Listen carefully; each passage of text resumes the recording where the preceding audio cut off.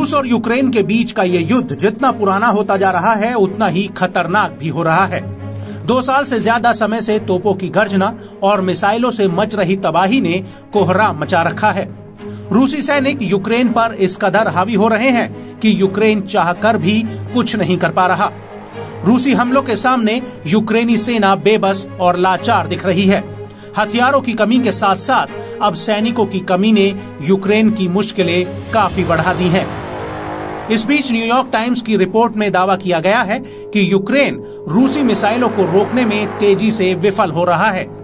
यूक्रेनी सेना ने दावा किया है कि हाल ही में एक महीने में यूक्रेन ने सैकड़ों रूसी मिसाइलों का सामना किया है। इससे यूक्रेन के एयर डिफेंस सिस्टम का भंडार खाली हो गया है। हालाँकि कीव ने पिछले साल मई में 80 फ़ीसदी से ज़्यादा मिसाइलों को रोकने का खुलासा किया था, जो कि हालिया महीने में आधे से भी कम पर पहुँच गया है। यानी कि करीब 30 फ़ीसदी, जो यूक्रेन के लिए बिल्कुल भी अच्छे संकेत नहीं दे रहा है। पिछले छह महीने में यूक्रेन ने लगभग 46 फ़ीसदी रूसी मिसाइलों को रोका, जो उससे पिछले छह महीने में तिहत्तर फ़ीसदी था। एक आंकड़े के मुताबिक, कम लागत वाले ईरान के शहीद ड्रोन्स को रूस अक्सर यूक्रेन के एयर डिफेंस सिस्टम पर हावी होने के लिए एक साथ लॉन्च करता है। इसकी सक्सेस रेट की बात करें तो यूक्रेन महज 200 ड्रोन्स को ही इंटरसेप्ट करने में सफल रहा है, जबकि 400 ड्रोन्स यूक्रेन में तबाही मचाते दिखे।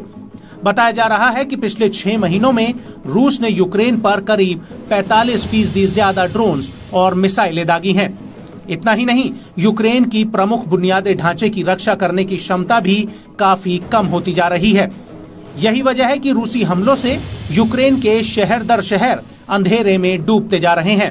रूसी हवाई हमलों ने महत्वपूर्ण यूक्रेनी हथियार कारखानों और रेलवे पर हमला किया है, जो मोर्चों पर सप्लाई के लिए काफ़ी अहम योगदान देते हैं।